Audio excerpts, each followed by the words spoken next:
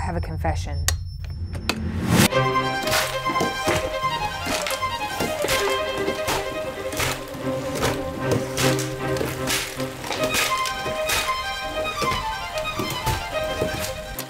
Friends, welcome back to episode two of The Great Declutter, where I shop my stash for one last time. Today we are talking about cheek color. So we'll be covering powder blush, bronzer, highlight, and contour. Let's get started. Okay, onto the powder blush collection. So I actually wear more cream blush than powder blush. So theoretically, I should be able to make a really good dent on this declutter here.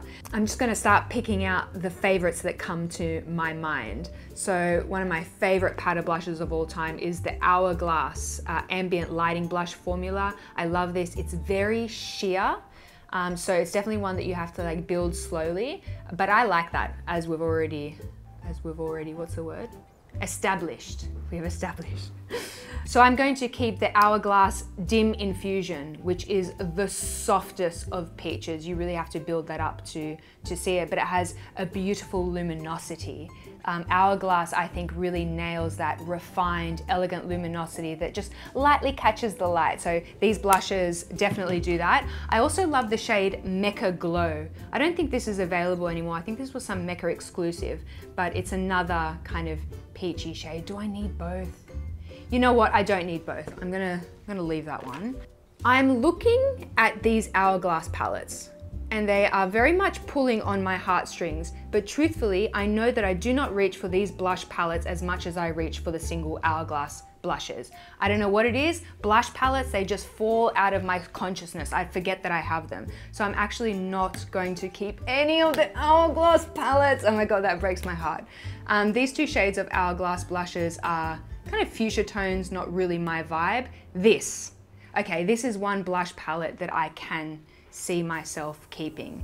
Um, this is long gone, it's by By Terry, it's the Sun Designer palette, but this gorgeous blushy kind of vibe here. I just take all of these shades and I take over the entire high point, um, a little bit on the forehead, on the tops of the, the cheekbones, on the nose, and it gives you that kind of like sun sun-swept, blushy vibe that I love, so I'm going to keep that guy. A drugstore blush that I adore and find myself reaching for frequently is the Revlon Naughty Nude. This has a slight luminosity running through it and a little bit of a soft beige nude color, but my gosh, that picks up on the apple of the cheek beautifully. I'm gonna keep that.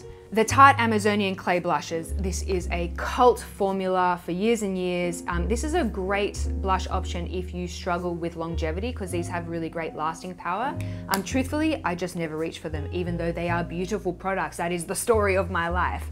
One blush that I genuinely can't let go of, I just have an unusual pull towards it, is the Too Faced Perfect Flush Blush in Sparkling Bellini. It's shimmery and it's peach two things that I really like. Ah, I just reach over this one again and again, so I'm gonna keep him. I have to keep the Milani Baked Blush in Luminoso. This is a very pale peachy, orangey peach shade with a gorgeous warm luminosity running through it. And this blush, if you told me in a blind test that it was a very high-end um, luxury blush, I would totally believe you. I'm gonna keep that guy, love him. While on the topic of expensive luxury blushes, let us talk about the Tom Ford blushes. So I have Ravish, which is kind of like a burnt reddish color. I've got Gold Lust, which is a peach with uh, some uh, shimmer running through it. And here is Inhibition, beautiful blushes, truly gorgeous formulas. I cannot fault them. I never reach for them. So I, it just breaks my heart and I think that they deserve to be loved and used every day. So I will not be keeping those. Let's talk about MAC. I love a bit of MAC, um, especially their blushes. Um, one that I have come to again and again, more as a blush topper, to be honest. The uh, MAC Fairly Precious Extra Dimension Blush, very shimmery one, this one. Uh, and I like to pop it just on the apple of the cheek so that when I smile, get a little bounce of light on the cheek. But definitely one that I would probably be placing over another blush. I'm gonna keep that guy. In a similar vein, I love the MAC Dainty. So as far as pink blushes go, this is probably the one that first comes to mind and my hand tends to gravitate towards this one.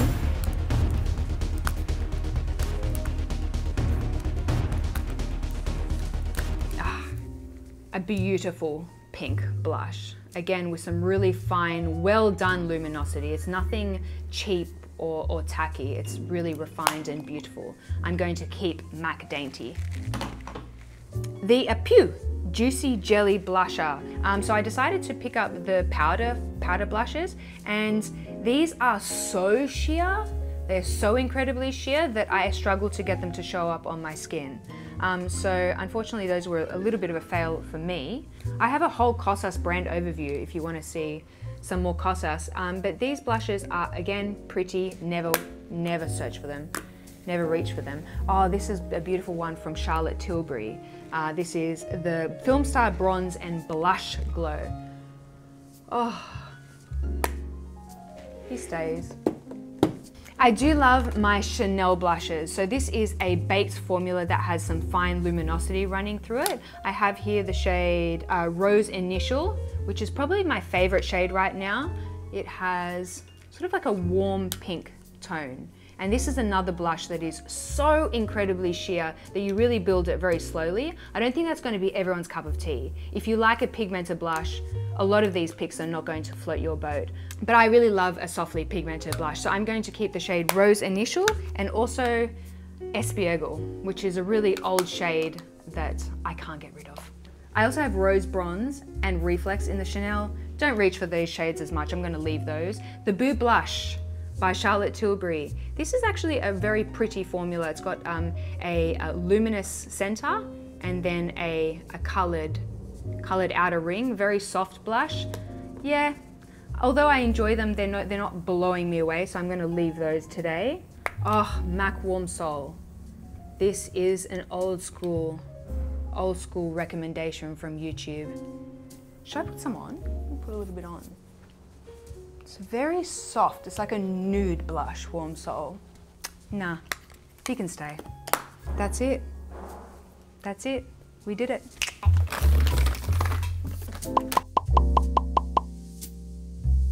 Okie dokie, let us move on to bronzers. So over the past year or two, I have been wearing bronzer less and less. Let me explain. It seems like every time I go to put on bronzer, it starts to feel like a lot of makeup really quickly. And a lot of bronzers on the market are quite pigmented, so I find I get a bronzer helmet really fast. So really I wanna keep just a few bronzers, just the few that I use and enjoy.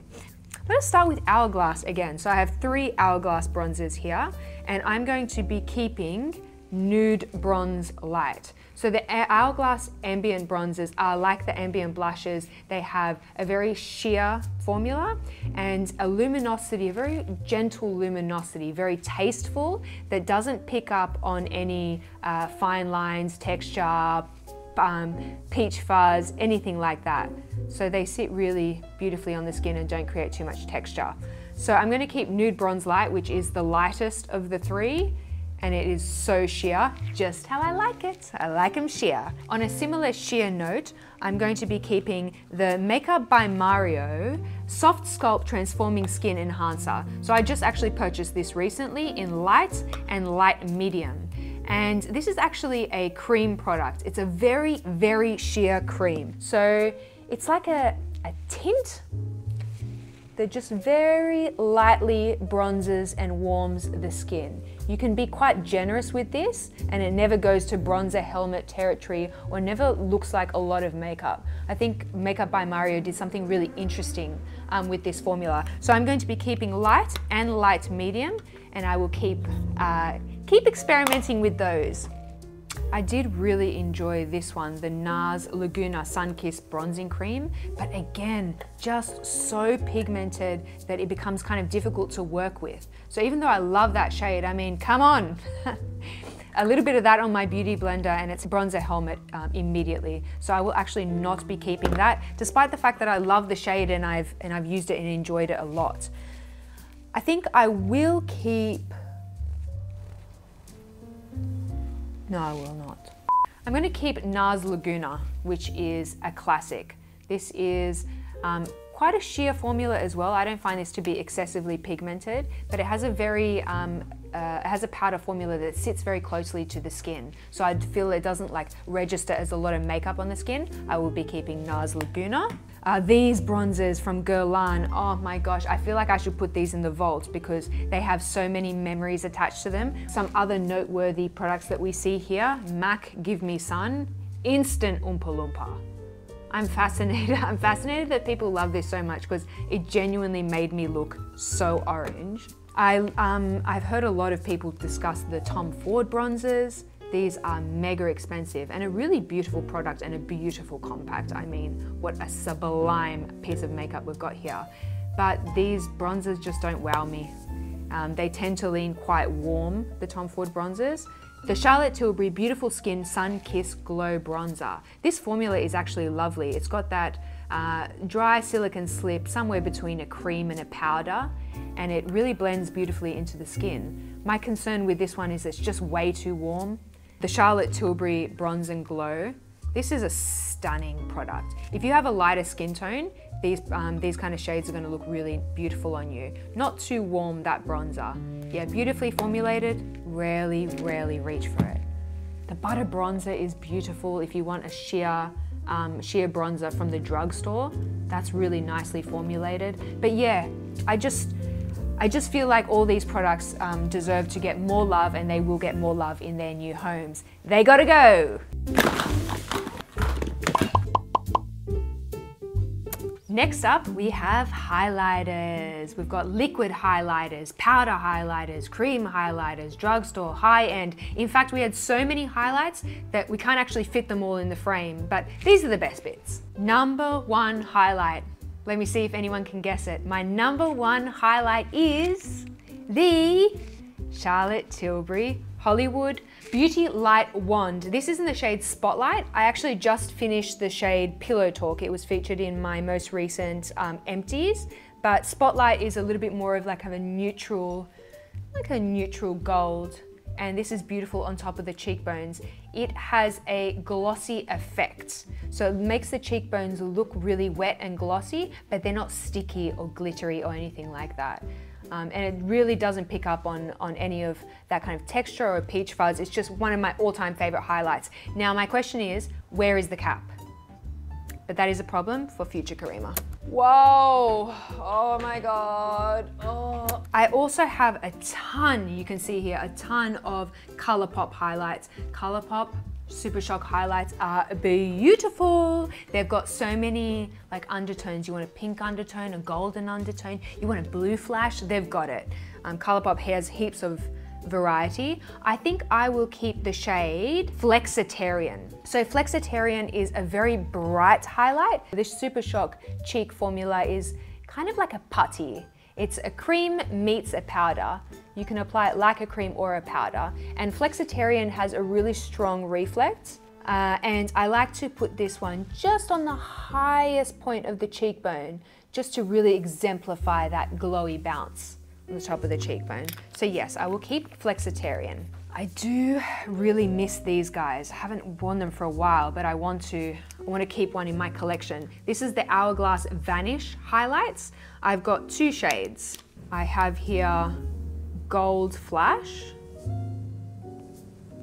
Mmm, whoa. And Champagne Flash. That one has a little bit more of a golden vibe. Oh, wow, wow, wow. I think I'm gonna keep the Gold Flash, which is that lighter one. Yoink! Man, this is a this is a vibe down here.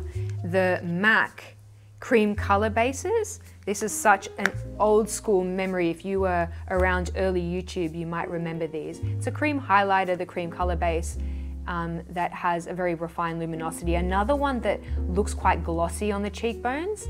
Yeah, these are beautiful. I actually might repurchase these at some stage, but um, these guys are just old. I do really enjoy actually the um, Hourglass Ambient Lighting Powder in Luminous Light. This is a highlight that I would say is a good one for say bridal. It's so soft. It's got that kind of satiny, gauzy, very soft finish. Um, so I think it would be one of the most elegant highlighters kind of on the table here. I'm gonna put this in my one last chance pile. Another one I want to put in the last chance pile is the Benefit What's Up. This is a fabulous cream highlighter. Like I need another cream highlighter, but look at it. Wow, gorge. I'm Gonna put that in one last chance. Man, I this is so nostalgic going through this collection. I remember that Michelle Crossan and I have a video where we absolutely lose our minds over this sleek highlight. Look at it. Oh my God. These were the days of like the blinding highlight on YouTube. Woo! You guys. Ah. Bobbi Brown Shimmer Brick. Oh my God, so much nostalgia. Let's do a little bit more nostalgia for those of you who are been around for a long time. Does anyone remember this? The Dior Amber Diamond powder.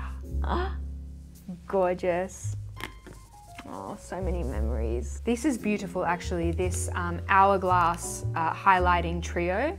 These um, powders, despite the fact that they're hourglass, they're quite, uh, quite reflective these. They've got a few different shades here, a bit of a pink, a bit of a beige. I think I might give this one one last chance. This Charlotte Tilbury highlight um, palette actually didn't do anything for me, in case anyone cares, in case anyone's interested. Yeah, just a little bit, um, felt a little bit powdery for me. Oh, the Marc Jacobs Spotlight. This is a brand that's no longer available, but this was another highlight that I adored for a long time creamy, reflective, glossy cheekbones. I think I want to keep one of these guys. It's by Segu, Segui, Segui. Uh, I'm definitely mispronouncing that, um, but I believe it's a Spanish brand, and they have some beautiful liquid highlights. So this shade is, I don't know what kind of shade it is. I've got two shades. This one this formula actually reminds me a lot of the Lisa Eldridge liquid highlight in that it's so, the luminosity is so elegant and tasteful that it doesn't read like shimmer at all. I think I will keep the pinky guy. Stuff like this, like Pat McGrath Labs, I'm sure that these are gorgeous highlights, but I just don't find myself often like requiring a pink flash or a greeny purple flash. I know that that was really in fashion for a bit there, these kind of like flash highlighters that flash all these iridescent shades. Um, not, not my vibe. Oh my gosh, look at this. These Burberry highlights. look at it. Look at it. And these are beautiful. Burberry makeup is stunning. But to be honest, I don't wear a ton of powder highlight in general anymore. And it is for that reason that I think I should cut the cord here. All this stuff has got to go.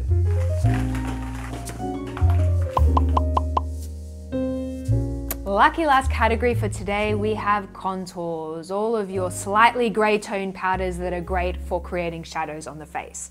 So by far my most used contour of right now is the Westman Atelier stick in Biscuit.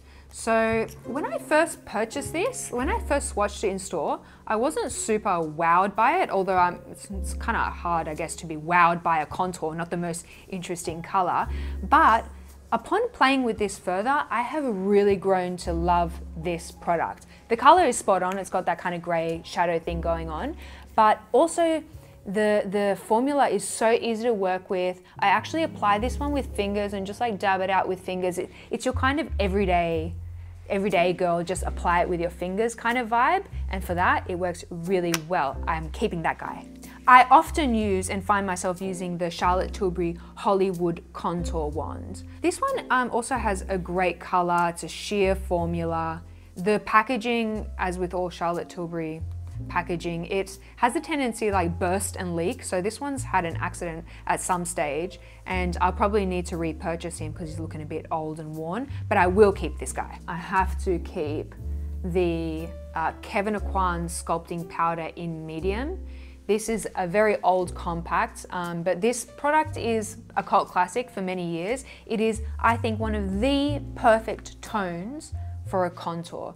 It has a little bit of gray, but not so much that it's hard to use, and the formula is buttery smooth.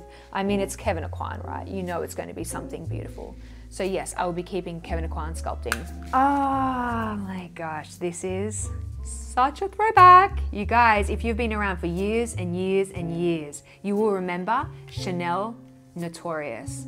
This was like a, a, limited edition release, and I remember everyone was like, What? Why is there a grey face powder? And I was like, Yes, give me that grey face powder. It's not that grey, it's very, very sheer. Um, but this one I think I will put into the vault because this has lots of sentimental value. I'm really conflicted about this one. This Tarte palette, uh, I think that this Tarte Tarte's Pro Glow palette is beautiful and in particular I really enjoy this contour. It has a wonderful creamy formula, very easy to blend. The color is spot on and the powder contour is brilliant um, topped over that cream. This palette deserves to be loved all over. This one I think I will keep. This is the Charlotte Tilbury Nudegasm, not my favorite name, but Nudegasm face palette.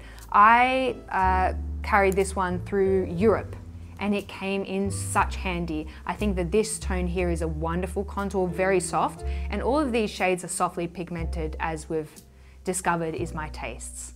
I will keep this guy.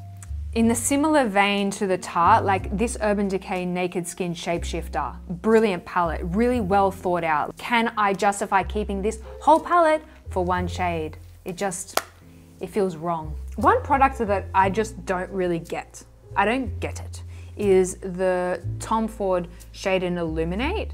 This has a cult status. It's been a favorite among many for years. First of all, the, the formula, like I would venture to say that some people would call this greasy. It definitely has like quite a, a wet emollient texture. And the shade, this contour shade here, reads so warm. I can't even really use this as a bronzer. The shade is so warm. But the highlight is it's like a face gloss. It's gorge. Absolutely no shimmer or reflect. It's just shine. Um, but yeah, personally, never really use this guy. Don't really like him. We'll pass him on. I do really love actually the Revlon Sculpt and Highlight Contour Kit. Wonderful option from the drugstore. It has your banana powder, which is wonderful for like illuminating areas of the face, particularly under the eyes. You've got a few contours, really well thought out palette. Um, really beautiful formula too.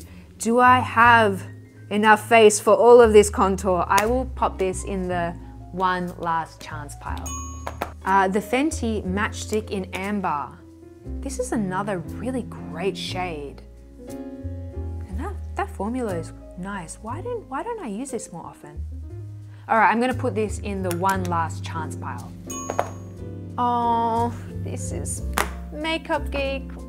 so sad. In addition, Becca. Oh, so much nostalgia. All right, you guys, I think we gotta call it here. They gotta go. Thank you so much for watching today. I hope that you guys enjoyed the video. Make sure that you subscribe so that you don't miss the next episode, which will be all about decluttering eyes, eyeshadow, eyeliner, mascara, all of that good stuff. Also, if you would like to come and say hello to me on Instagram, I'm there at Karima McKimmie. And I'll speak to you soon. Bye.